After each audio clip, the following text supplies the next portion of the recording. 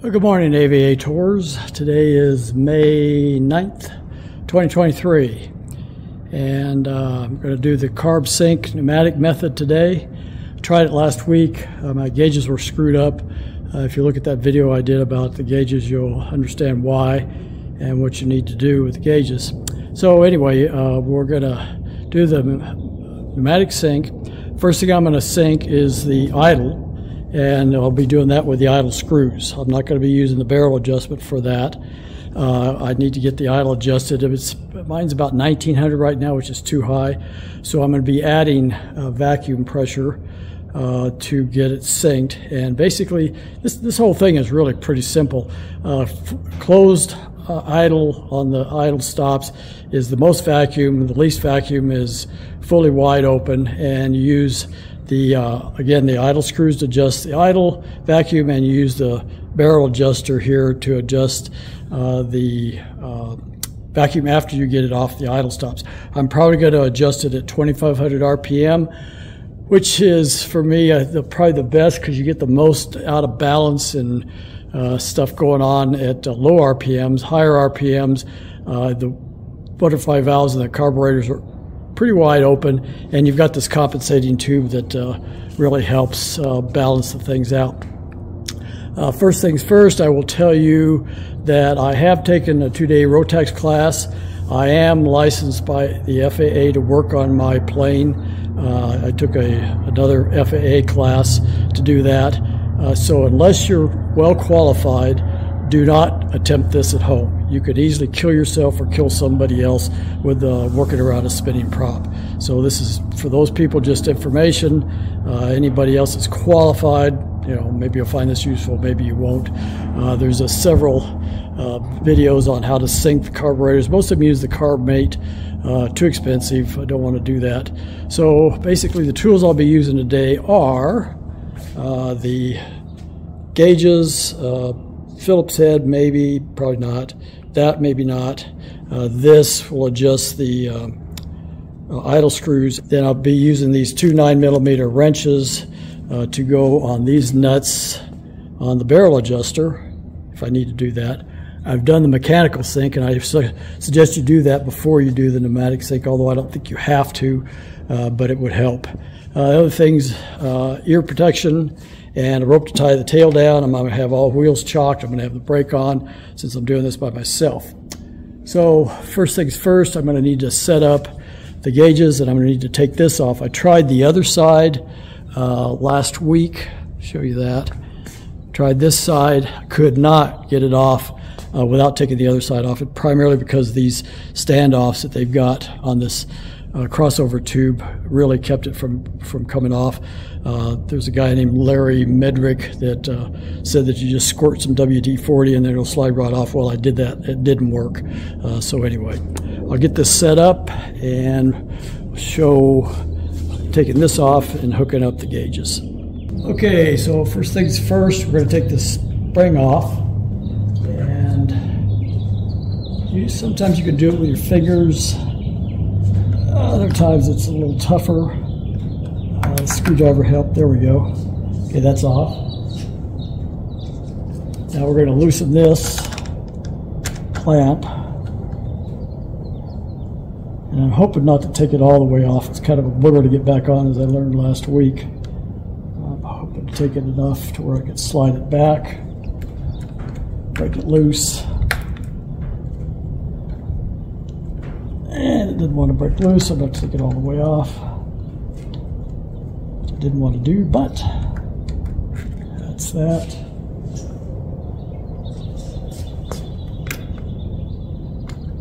Okay, now it's loose. Back there.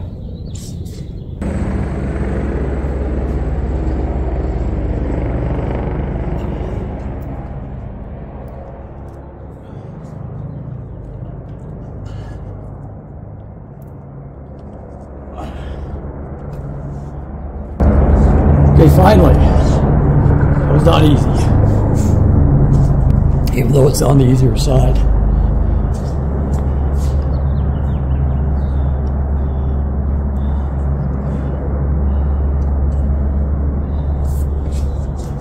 Now I'm going to hook up the gauges. So this should be simple, hopefully. It plugs into there, and this plugs it over here. Remember last time this was not all that easy to get on, but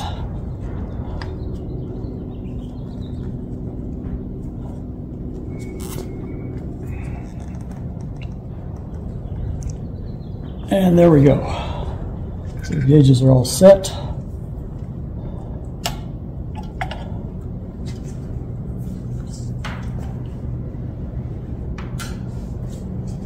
Now what I'll do is I'll pull the plate out, uh, get it all chalked, brakes on, start it up. We'll have to wait a while for the uh, oil temperature to come up, uh, but we should be able to do our thing. So see you after I pull it out.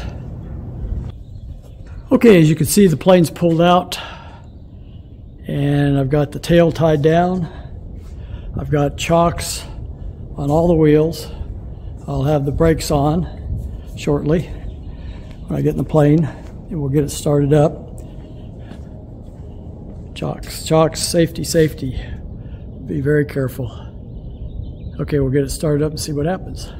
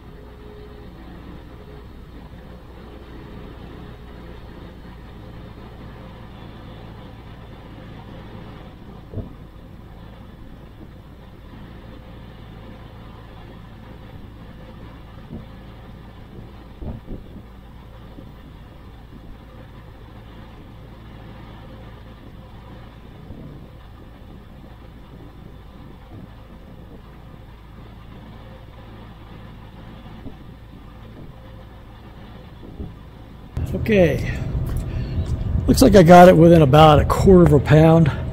Uh, the uh, idle is adjusted properly and it's balanced at idle, so that's going to work real well. Although you know, I hardly ever use idle except when I'm on final and just before I land. Uh, otherwise, I run it at like 2,000 RPM and keep it smooth. So I think that's it. I think we're done. Hallelujah. Glad this is over for a while.